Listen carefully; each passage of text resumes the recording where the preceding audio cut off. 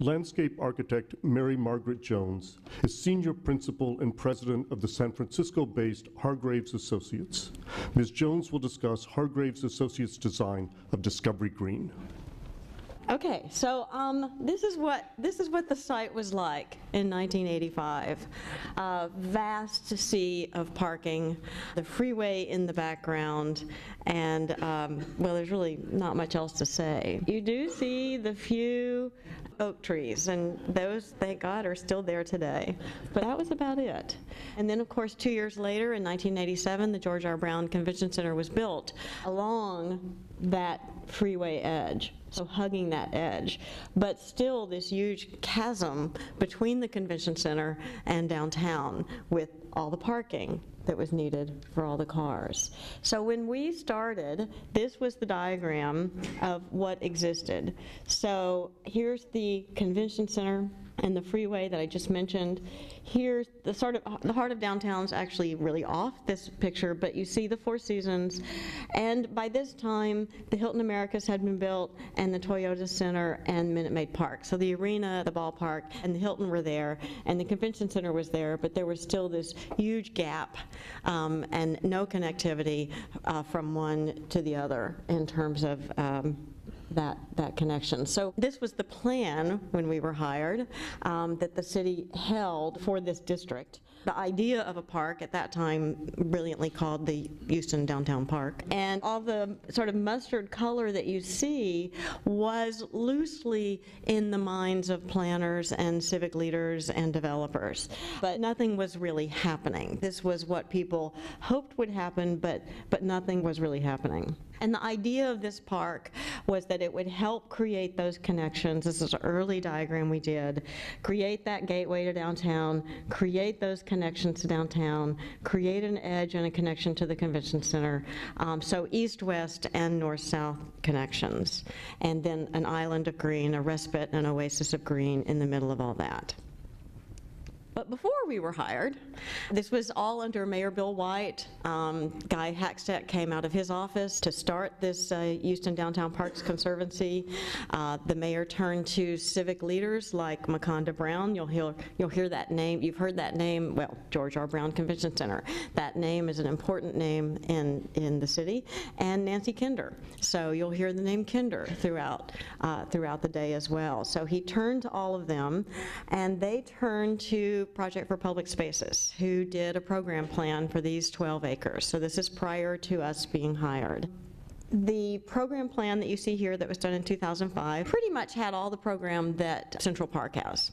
So this was a little bit of a challenge because it raised expectations. It's like, what would you like to see in a downtown park? Well, a puppet theater, a tree house, a bike place, a place for bikes, restaurants, cafes, the Tuileries, dog runs, a hill, a parking lot, because it's Houston, and uh, future retail, and a pond, and I could go on. I mean, the list was really, really long. So when we were hired, along with our local partner, Lauren Griffith Associates, and the architect, Larry Speck, with Page Sutherland Page, we were faced with this, and I think a certain fear that no one would come here if we didn't do all this. And at the same time, I can hear Maconda now on the first day saying, but it has to be green. It has to be beautiful. It has to be shady. It has to be an, a respite and an oasis in the city. And I think about the heritage of the strong women of Texas by the way, I was born in Baytown, Texas, so I have to come to full disclosure there. Um, the strong women of Texas who, who started this sort of heritage of parks and gardens and garden clubs, and that was also the desire. So here we were faced with this and a desire for green, beautiful garden, oasis, shade, etc. So the first thing we did was a series of diagrams to see how we could organize using these two axes. So we had, you remember the, the trees, the few trees that remained on this axis, this uh, uh, more or less east-west axis. As you know, nothing is pure north-south or east-west in Houston, which makes it very confusing. Um, And then we had the other axis of Crawford, which it had already been determined would be closed in the 12 acres of the park site, so that we had the Crawford Promenade as the cross-axis. So we came up with this idea of two very different cross-axes, one urban and a promenade, one green and shady, and clipping, if you will, as much program as we could onto those two axes so that the rest of the park could be green. And that's what uh, these studies are about. And, and so it's really an organizational strategy to achieve all those goals, but keep the park as green as possible. So this was the plan, and the plan was one of what we like to call striations. So these striations linking, again, the, the oak trees, the live oak trees, which we moved some around, we added to the alley. Um, We did some major, major transplants to strengthen that alley, but to use that as an organizing um, striation in this direction, and then to use Craw- Crawford Promenade um, with the sycamores that we planted i- as an organizing uh, striation in the other direction, but to mostly pull upon these, these east-west ones, which we hope would also channel breezes and create those senses of connection from city to convention center. And within that, the pond, the restaurant, which we gave a second level, thus achieving a treehouse, um, the, the, the park building into which we put a room that could be used as a puppet theater. So we, we looked for lots of combination solutions, uh, ways of achieving that program in a flexible way within most importantly, a green park. And a green park that would have a series of outdoor rooms. And these outdoor rooms are sort of episodic. You move from one to the next. And what we were really trying to achieve was a complete transformation of scale. So when you think about that, you could see those 12 acres in one fell swoop. You saw them all at the same time. So while it seemed vast because it was all paving, at the same time it seemed small because you could visually comprehend it all at one time.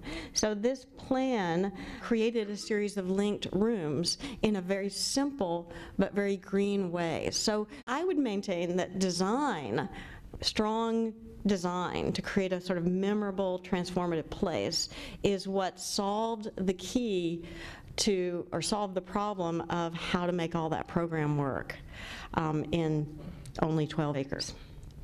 One thing I should mention too is, so the buildings clipping along, as I said before, along Crawford Promenade, we're clipping program along Crawford Promenade. This building seemingly split by the promenade and straddling both sides. So park support here, cafe here, and the Grove restaurant here. Children's play, we kept this existing hill here at this corner, and I'll come back to this, um, as sort of a defensive measure because there were a few existing trees here and we wanted some mature trees in the park. The children's play here would thus be screened from that corner.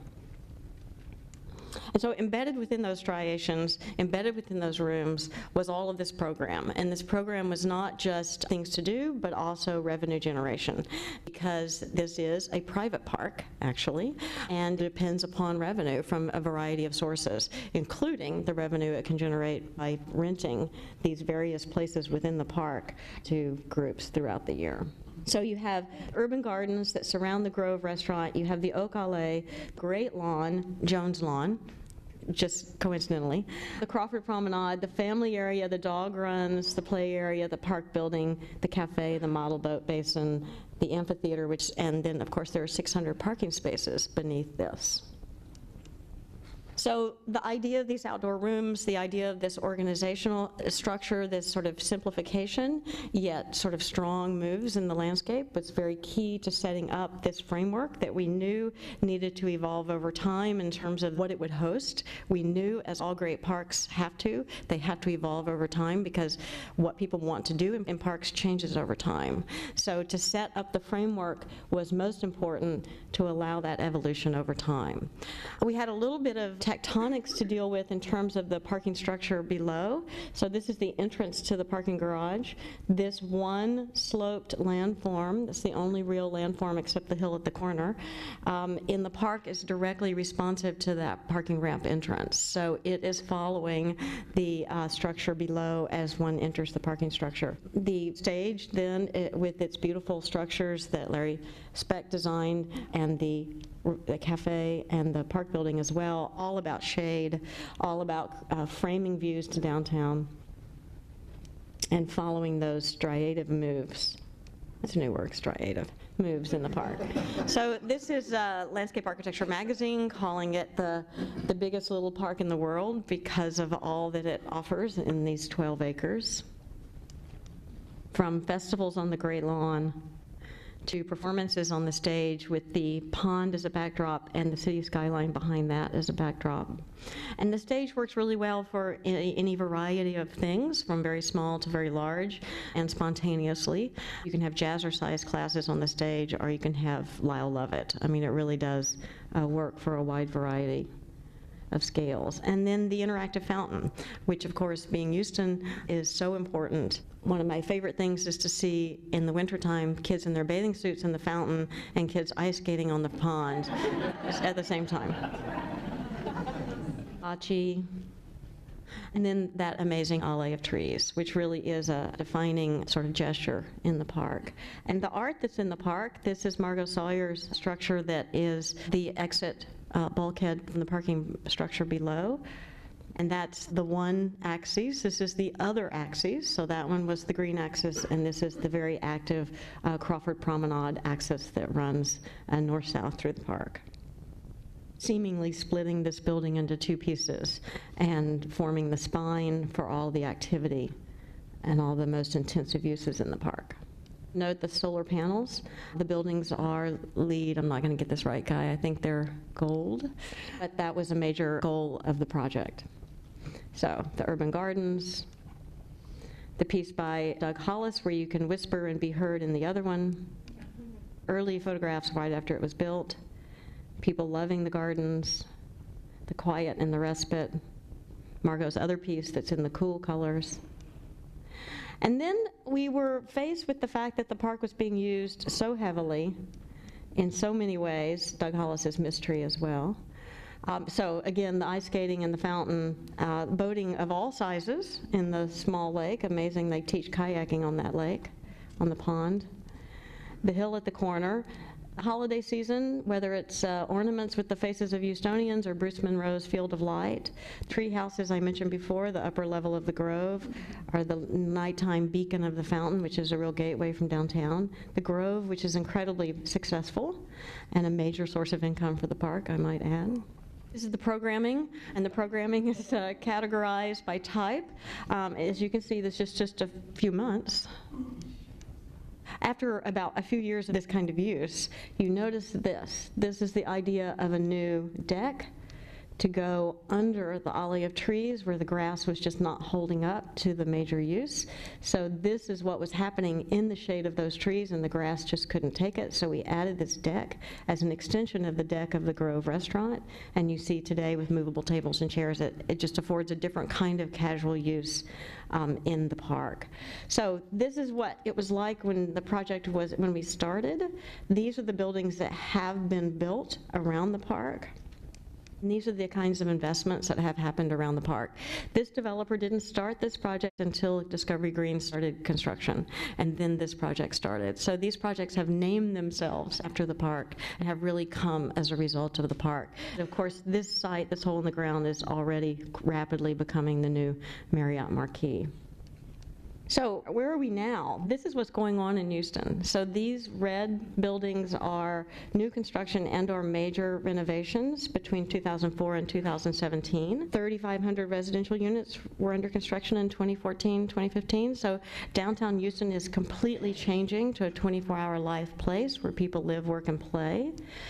And the, the, these are more current photographs. So all the photographs you saw earlier of Discovery Green were early photographs. These are more current. The landscape is maturing unbelievably. The scale of the park is changing as these tall buildings are built around it, and all the trees are now big.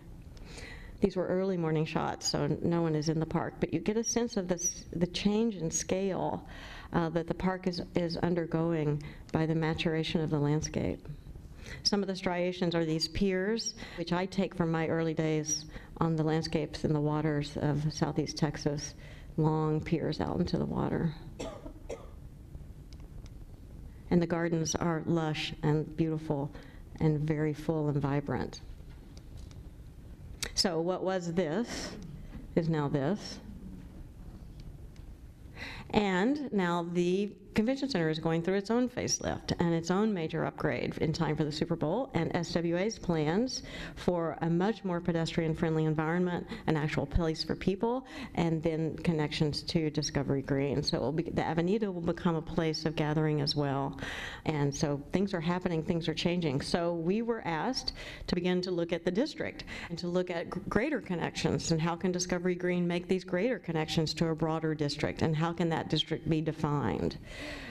What might the streets be like? Can we connect to the bayou? Can we connect east? So we have now done this plan recently where we are looking at every corner and making stronger connections at every corner where we had defensive moves before to surrounding nothingness. We now want connections to surrounding like stuff that's happening. In particular, a whole new manifestation of the children's play area and a children's garden to turn this corner, which remember I mentioned was the sort of defensive corner where we kept the hill with the existing trees, but now it doesn't work as an entrance to the park. So to change this corner to something like this, where is a major entrance to the park. So the park is continuing to grow and change and seeking greater and greater connections. And so this was the, I'll conclude with this amazing, I think, cover sheet of the 2015 annual report for Discovery Green. So I just want to note a few things.